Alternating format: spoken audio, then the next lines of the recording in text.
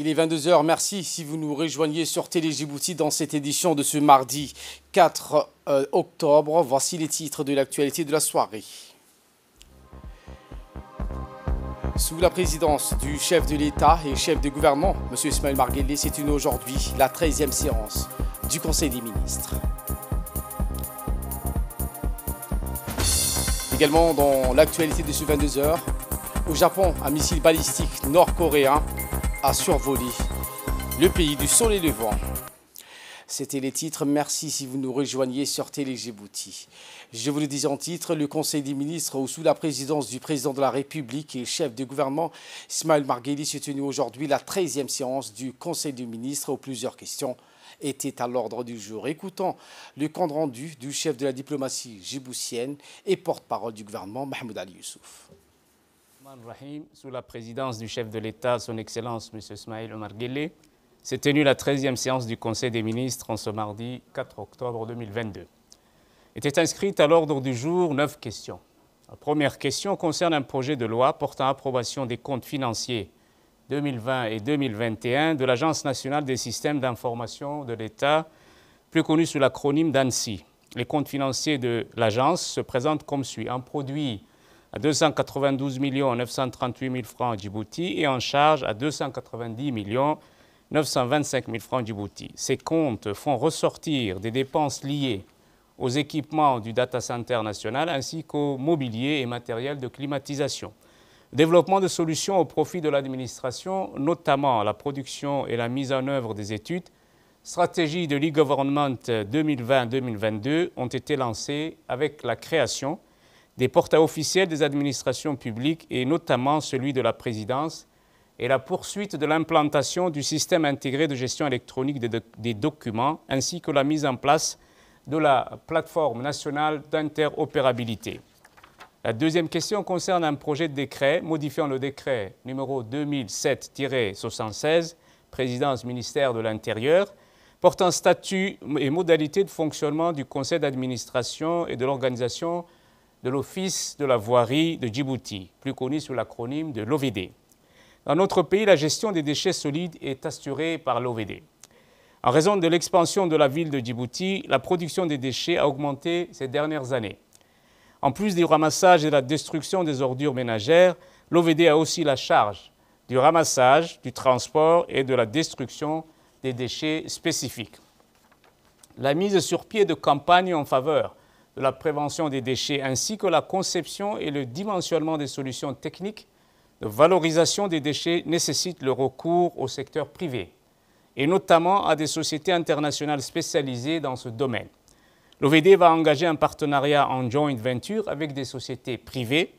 Pour cela, les missions de l'Office seront donc élargies et renforcées. Par ce décret, le statut de l'OVD est modifié pour lui permettre la contractualisation de ses missions. La troisième question est relative à un projet de décret modifiant et complétant le décret numéro 2021-017, présidence ministère de l'Intérieur, fixant les modalités de financement du registre national des personnes physiques. Les autorités nationales compétentes ont décidé de mettre en place un registre national des personnes physiques le 21 janvier 2019. La société allemande Dermalog a été contractée pour la concrétisation de la mise en place de ce registre national. Par ailleurs, le système de gestion biométrique de l'identité innovant permettra l'enregistrement de données biographiques, et, mais aussi biométriques directement enregistrées sous des titres sécurisés. Compte tenu de l'importance capitale et de la sensibilité des données et des informations en question, l'État en reste le seul propriétaire et veille à la confidentialité de ces dernières. L'État va mobiliser les ressources nécessaires et s'appropriera entièrement le projet. La quatrième question concerne un projet de décret portant modification du décret numéro 2019-332 présidence ministère de l'économie et des finances, organisant le centre de leadership et de l'entrepreneuriat. Le centre de leadership et de l'entrepreneuriat est une structure consacrée au développement de l'entrepreneuriat et à l'innovation dans divers secteurs économiques et industriels. La loi a été complétée par un décret numéro 2019-332 présidence ministère de l'économie et des finances portant organisation donc du centre clé en date du 24-12-2019. Ce projet a été présenté par le ministère délégué chargé de l'économie numérique. Il apparaît nécessaire donc de mettre en place un conseil d'administration afin de piloter les orientations stratégiques de l'établissement et le mettre en conformité avec le code de bonne gouvernance. La composition donc de ce conseil d'administration a été ajustée conformément à la création du ministère délégué chargé de l'économie numérique. Ce texte réglementaire permettra aussi la promotion et le soutien aux start-up. Le Conseil a ensuite examiné et approuvé d'autres questions. Réécoutons le compte rendu du porte-parole du gouvernement. La question concerne un projet d'arrêté portant d'échéance d'une parcelle de terrain 6 à Balbala attribuée à China Civil Engineering Construction Corporation, Djibouti LTD. Cette parcelle de terrain d'une superficie de 128 000 m2, non bâtie, en concession provisoire et située à Balbala, zone PK12, voie 16, attribuée en 2016 à la société China Civil Engineering Construction et reversée dans le domaine privé de l'État. La déchéance est prononcée pour non-respect du délai de mise en valeur de deux ans fixé par la loi. La sixième question est relative donc à un projet d'arrêté portant attribution d'une parcelle de terrain 6 à Balbala au profit de la société Greenville Holding. Cette parcelle de 60 000 m2 située à Balbala, zone PK12, voie 16, est attribuée à titre onéreux 3 000 francs Djibouti le mètre carré. Cette parcelle est destinée à la réalisation d'un projet de programme résidentiel. La septième question concerne un projet d'arrêté portant affectation d'une parcelle de terrain au profit du ministère de la Santé. Cette parcelle de terrain, sise à Damerjog, est destinée au centre de recherche entomologique et de lutte anti-vectorielle. La huitième question est relative à un projet de loi portant ratification de l'accord de financement concessionnel pour le projet de réduction des risques d'inclusion et de valorisation des économies pastorales dans la Corne de l'Afrique. L'IDA, l'Association internationale pour le développement, une association de la Banque mondiale, la République de Djibouti ont signé cet accord de prêt d'un montant de 446 276 000 francs Djibouti. Cet accord de prêt intervient dans le cadre du financement au projet de réduction des risques d'inclusion euh, et de valorisation des économies pastorales dans la Corne de l'Afrique. Il comprend également un accord de don de 890 807 000 francs Djibouti accordé par la Banque internationale pour la reconstruction et l'IDA à notre pays. Ce projet vise à améliorer l'accès aux éleveurs des services financiers pour l'atténuation des risques de sécheresse, de les inclure dans la chaîne de valeur, de faciliter le commerce de bétail dans la Corne de l'Afrique. La neuvième question concerne un projet de loi portant ratification de l'accord de financement concessionnel pour le projet de renforcement du système de santé de Djibouti. Cet accord de financement d'environ 2 milliards de francs Djibouti a pour objectif principal d'améliorer l'utilisation des services SEMNIA-N de qualité en accordant la priorité aux zones mal desservies, aux réfugiés et aux communautés d'accueil. Le projet euh, comprend les parties suivantes. Premièrement, le renforcement des plateformes de prestation de services, le renforcement des institutions, engagement citoyen et gestion de projets, et l'intervention d'urgence contingente. Autre actualité de ce 22h, le chef de l'État Ismaël Marguerite a reçu en milieu d'après-midi aujourd'hui au Palais de la République une délégation soudanaise de haut niveau conduite par le ministre du Transport de ce pays, Hicham Ali Abouzeid. L'audience a servi donc de cadre à l'élaboration d'un inventeur général des domaines autour desquels les deux pays souhaitent accroître leur coopération. À cet effet, les deux parties ont d'emblée convenu d'instaurer une collaboration active entre elles dans plusieurs domaines notamment le port. Le renforcement du niveau d'échange économique et commercial a également été porté au rang de secteur propice à cette coopération mutuellement bénéfique entre, entre les deux pays et les deux peuples. Quant à la sécurité alimentaire, un pôle stratégique de collaboration déjà en vigueur entre les deux nations a été appelé à faire l'objet d'une intensification particulière. Lors de cette audience avec le chef de l'État, le ministre soudanais des Transports été accompagné d'une importante délégation de son pays comprenant entre autres la ministre de l'Industrie Batoul Abbas Awad et le ministre de l'Agriculture et des Forêts, Abou Bakr Omar Al-Bou, l'ambassadrice de la République du Soudan auprès de la République de Djibouti, Madame Rahma Salah Al-Ubaid, a participé donc à cette audience. Côté djiboutien, le chef de la diplomatie djiboutienne, Mahmoud Ali Youssouf, le ministre des Infrastructures et de l'Équipement, Hassan Hamad Ibrahim, le ministre de l'Agriculture, de l'eau, de la pêche, de l'élevage et des ressources halieutiques, Mohamed Ahmed Awale, et le président de l'autorité des ports et des zones franches, Abou Bakr Omar Hadi, ont pris part à cet événement.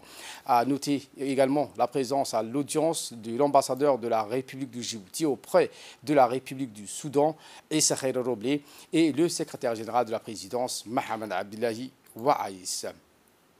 Et dans une interview, le ministre du Transport euh, du Soudan, Hicham Ali Abouzeid, a précisé que le déplacement de cette délégation à Djibouti a trait à la volonté du Soudan d'appeler de ses voeux à la réalisation d'une dynamique nouvelle dans les relations d'échange et de coopération entre les deux nations, aux liens anciens tissés par le fil de l'histoire, de la culture et de l'appartenance commune à la même région.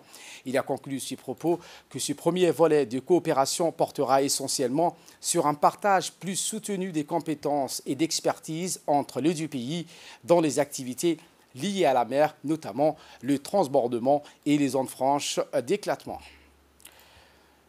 Le ministre des Affaires étrangères et de la coopération internationale, Mahmoud Ali Youssouf, s'est également exprimé. Je vous propose de suivre son interview. D'abord que c'est une forte délégation composée de trois ministres, celui du transport, de l'agriculture et de l'industrie. Euh, les relations entre Djibouti et le Soudan ont, toujours été fortes et ont toujours également porté sur des secteurs d'intérêt commun en matière de coopération, de commerce et de développement des échanges. Euh, Djibouti et le Soudan sont deux pays côtiers et des ports importants pour le Soudan, les ports de Djibouti. Et il est important de développer une coopération, surtout des échanges d'expertise qui permettent donc aux deux ports de travailler ensemble. C'est l'objet aussi de la visite de cette délégation. Et il y a aussi la coopération en matière de zones industrielles, les zones franches, nous avons une certaine expérience dans ce domaine. Et c'est l'occasion euh, pour les différents donc, ministres djiboutiens d'exposer euh, euh, leur, je dirais, leur expérience dans ce domaine, l'expérience de notre pays. Et je crois qu'on a beaucoup de choses à échanger. Et, comme l'a indiqué le ministre du Transport, ce sont des relations historiques fortes qui ne sont pas perturbées par les circonstances.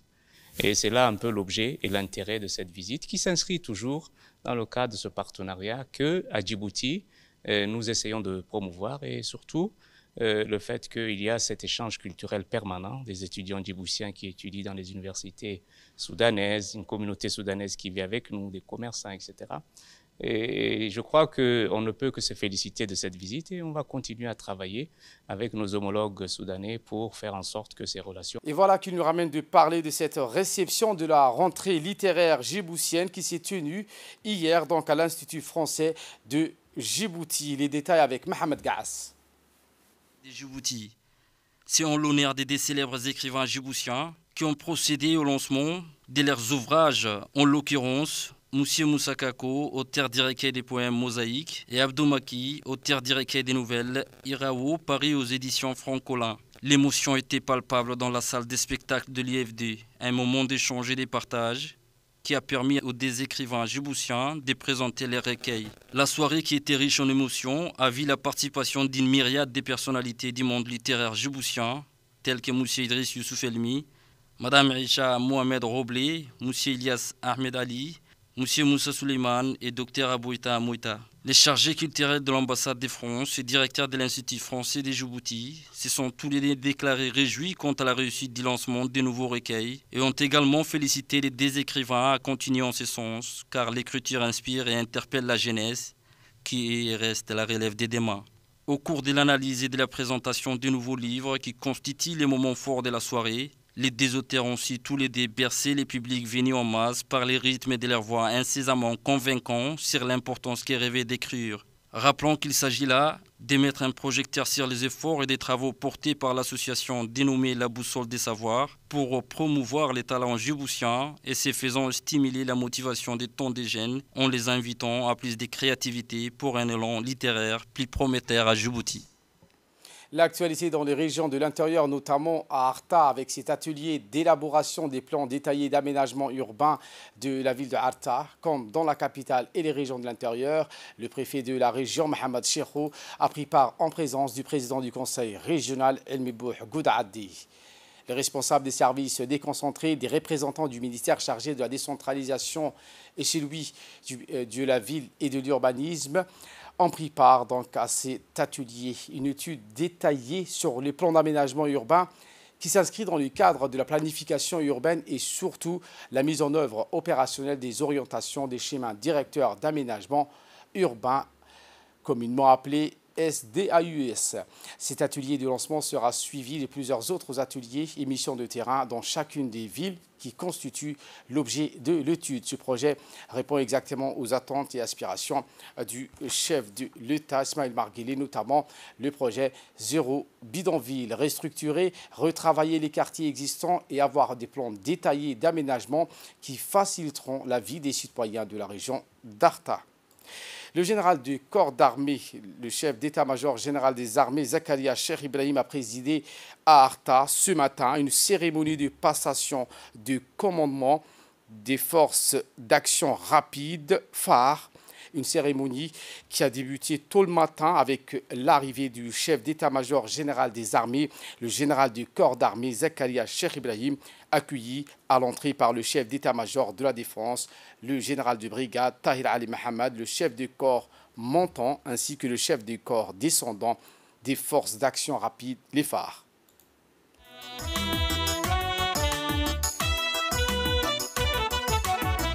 Chef de général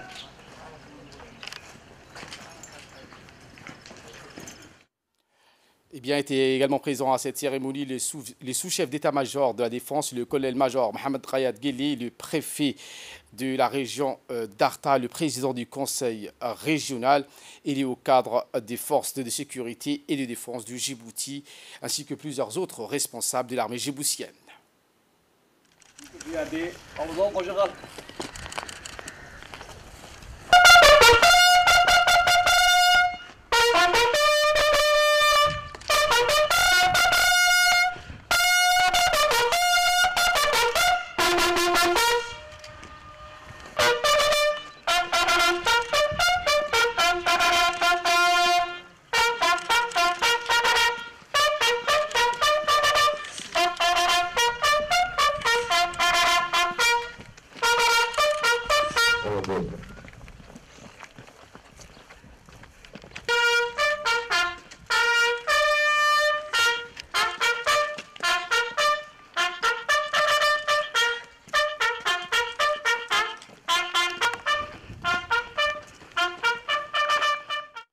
à l'issue de la venue du chef d'état-major général des armées, le général de corps d'armée Zakaria Cheikh Ibrahim, qui a passé en revue euh, la troupe d'honneur des forces d'action rapide, donc a entamé peu après sa venue un discours de passation.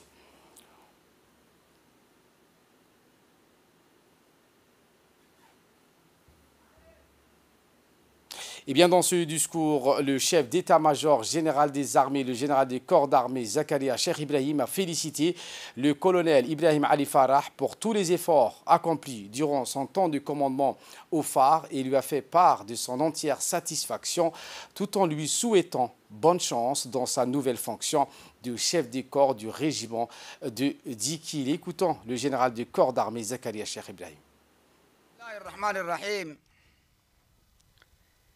الحمد لله رب العالمين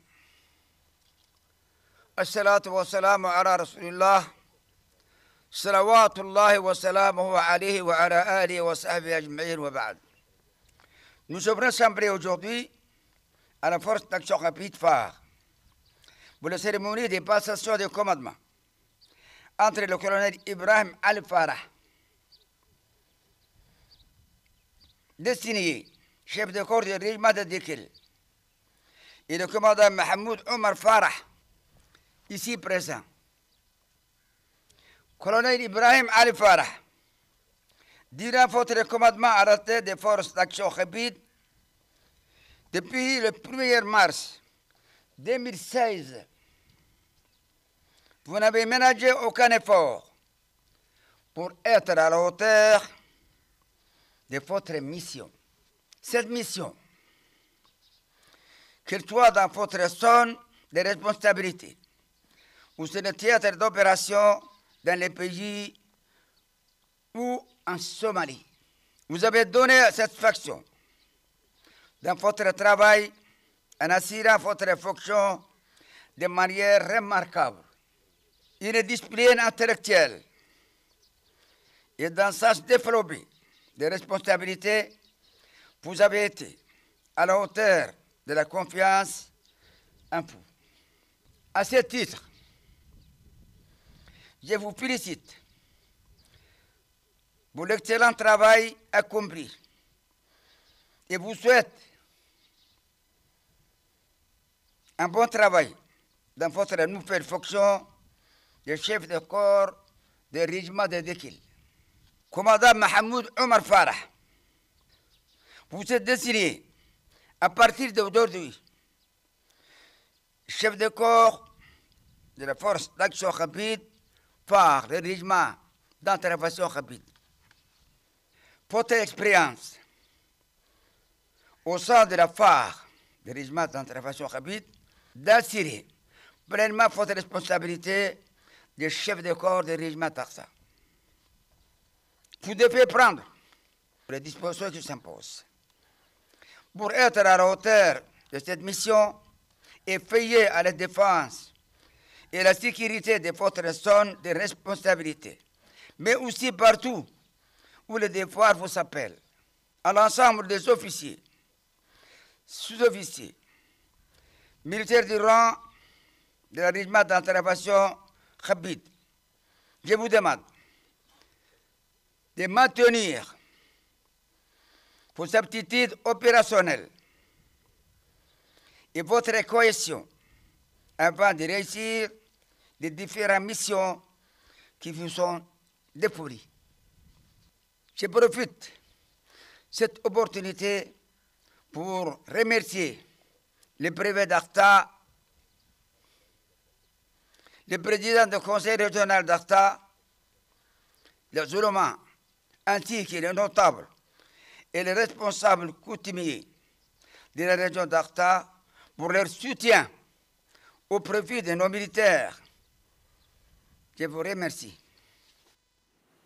Et maintenant, ce passation de commandement, le commandant Mahmoud Omar Farah a été désigné à partir de ce jour chef de corps de la force d'action rapide et a reçu tous les encouragements du général, du chef d'état-major général des armées, le général de corps d'armée Zakaria Cheikh Ibrahim. Et c'était homme, vous ferez les pains.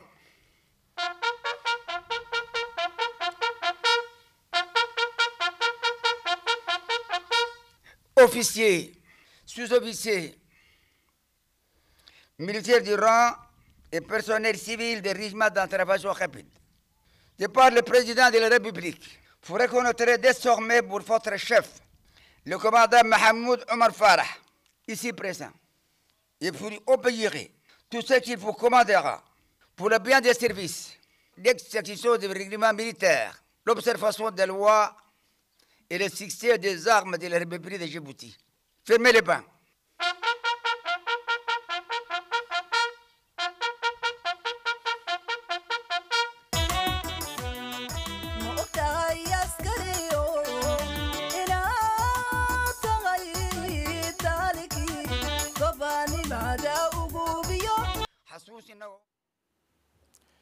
Eh bien, le chef d'état-major également pris la parole.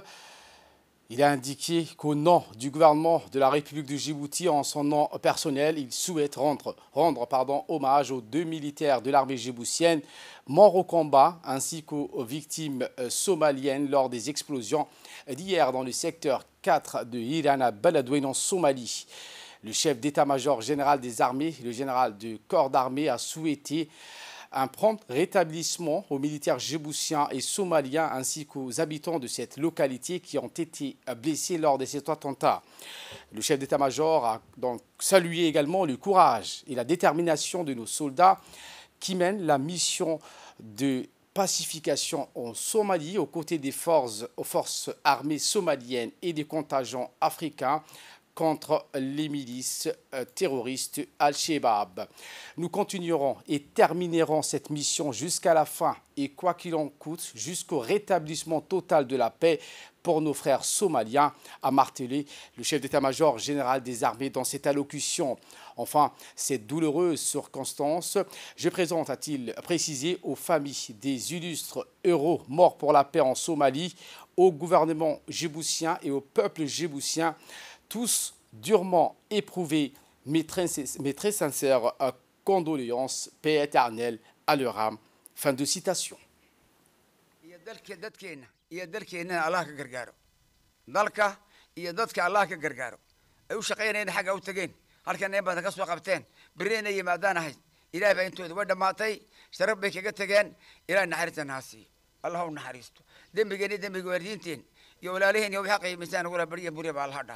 Amaatan musiibinka degmadan allaha dhaafo allahuma salli alaa maxamed wala alihi wasaxbihi wasalim alfaatixa À la fin des discours et une fois les passations effectuées, le chef du corps montant ainsi que la troupe des forces Action Rapide donc, ont effectué euh, la traditionnelle défilé euh, militaire sous le regard distinctif du général euh, Zakaria Cheikh Ibrahim et des honorables invités.